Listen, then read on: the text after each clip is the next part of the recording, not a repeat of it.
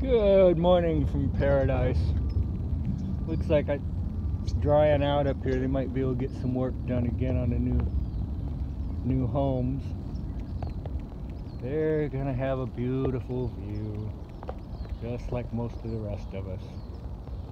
Such a blessed place to live. Get up, do something positive, have a good day.